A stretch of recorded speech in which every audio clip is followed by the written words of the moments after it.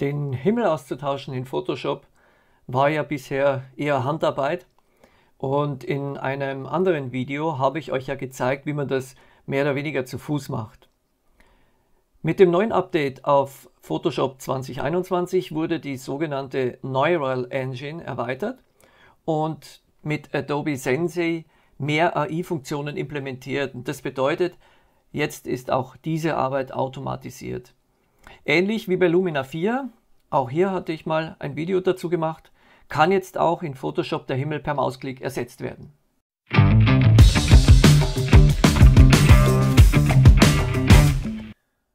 Das ist unser Ausgangsbild von Irland. Das war das Originalbild, so wie ich es dort aufgenommen habe.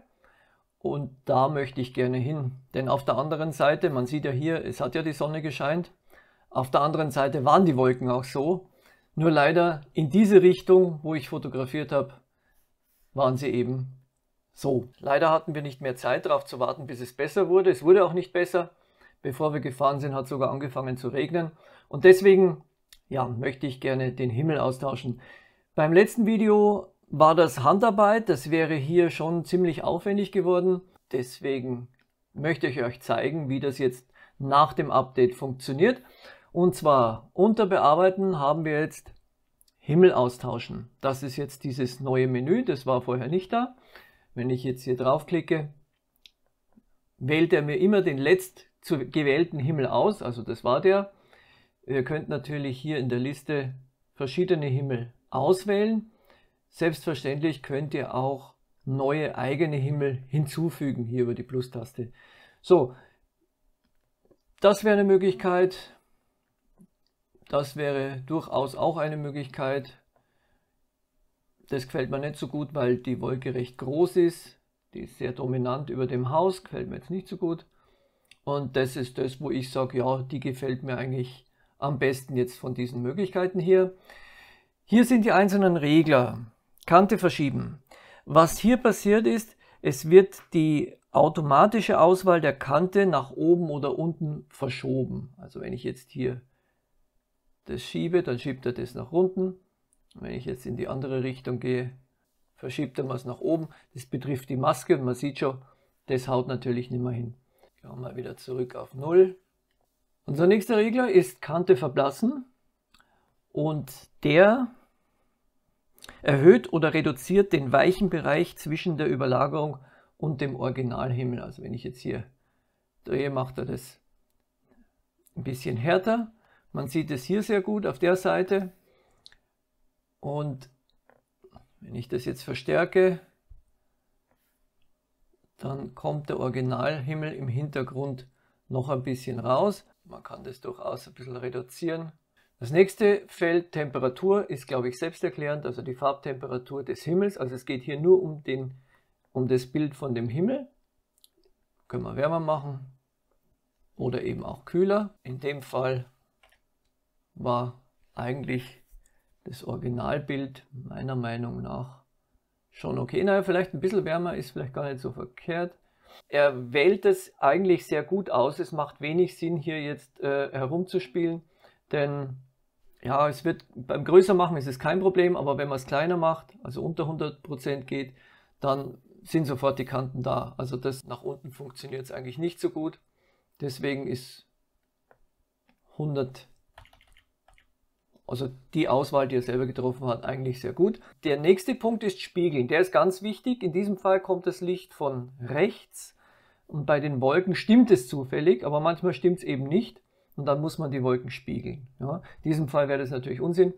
Deswegen schalten wir das Spiegeln wieder aus, weil hier das Licht ja auch von rechts kommt, dass das auch stimmt. Würde man sonst merken, dass das gefaked wurde. Lichtmodus multiplizieren, alternativ negativ multiplizieren. Ich habe jetzt noch kein Szenario gehabt, vielleicht bei Nachtaufnahmen, wo das interessant ist, aber äh, multiplizieren passt eigentlich immer. Belichtungsanpassung, auch klar.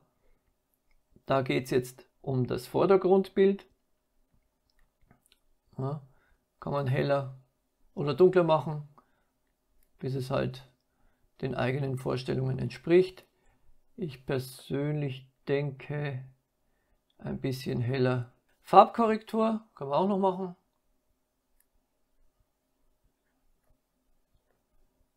Also hier gibt es keine direkte Farbe zum Auswählen, sondern da wird er einen eigenen Algorithmus eingebaut bekommen haben, der einfach die Farbe entsprechend anpasst. Anscheinend ist hier kein großartiger Bereich, der angepasst werden kann oder sinnvoll irgendwas zu ändern ist und deswegen wird es wahrscheinlich auch noch so bleiben. Aber wir sehen uns nachher ja noch den Ordner an, den er erstellt. Und da können wir ja diese ganzen Anpassungen, die wir hier schon vornehmen, nochmal korrigieren, wenn wir das möchten. So, Ausgabe in. Jetzt haben wir zwei Möglichkeiten. Neue Ebenen oder Ebene duplizieren. Ebene duplizieren heißt, er macht eine neue Ebene mit dem Himmelsbild einfach oben drüber und fertig. Das heißt, mit dem müsst ihr dann leben, er macht sonst nichts. Wenn ihr aber sagt neue Ebenen, das empfehle ich dringend, dann könnt ihr hinterher jede einzelne Ebene, die nötig ist, um diese Anpassung zu machen, nachbearbeiten. Hier ist noch unser Vorschau-Knöpfchen, ist klar, also so sah es vorher aus, so sieht es jetzt aus, vorher, nachher eigentlich ganz okay und jetzt drücken wir die Taste OK und jetzt erzeugt er uns den Ordner mit den ganzen Anpassungsebenen. Ich kann das durchaus so lassen. Ich finde, die Automatik macht wirklich einen tollen Job. Zumindest bei den Bildern, wo es ich jetzt probiert habe. Es wird mit Sicherheit auch Fälle geben, wo es problematisch wird. Und wie schon angesprochen, haben wir hier eben die entsprechenden Masken und Ebenen, was jetzt die Beleuchtung und die Farbanpassung betrifft vom Himmel. So, hier haben wir mal die Helligkeitsanpassung. Können wir hier noch ändern, wenn wir das wollen.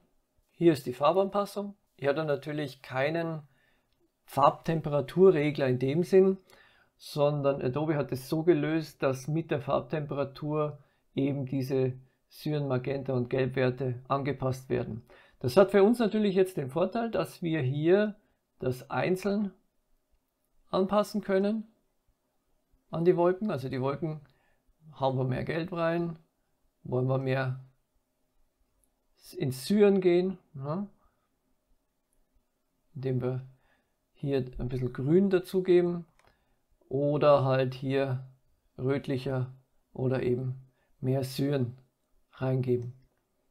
So, grundsätzlich ist noch zu dieser äh, Austauschgruppe, in dem Moment, wo die vorhanden ist, ist Himmel austauschen abgeblendet. Also er tauscht ihn nicht nochmal aus. Das ist einmal Punkt 1.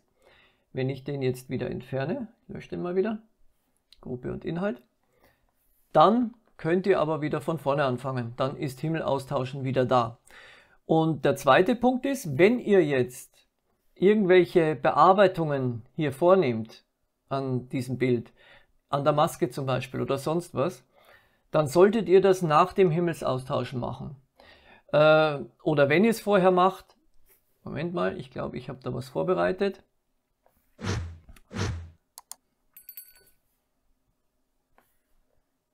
Ja, wenn ihr da, äh, äh, wenn ihr was machen müsst an dem Bild vorher, dann müsst ihr das als Smart-Objekt konvertieren. So, ich habe jetzt mal das Smart-Objekt geöffnet und äh, was ich hier gemacht habe, ich habe hier retuschiert.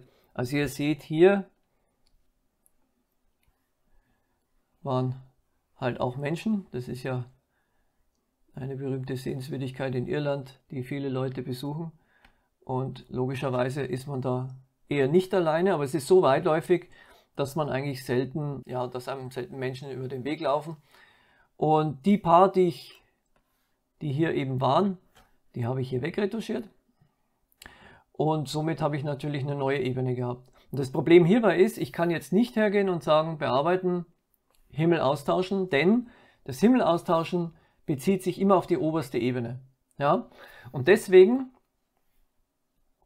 mache ich das mal zu, da haben wir nichts, haben wir nichts verändert, habe ich hier ein Smart-Objekt gemacht und dann erst den Himmel entsprechend ausgetauscht. Jetzt möchte ich das gerne nochmal starten hier. Hier haben wir so einen Himmelspinsel.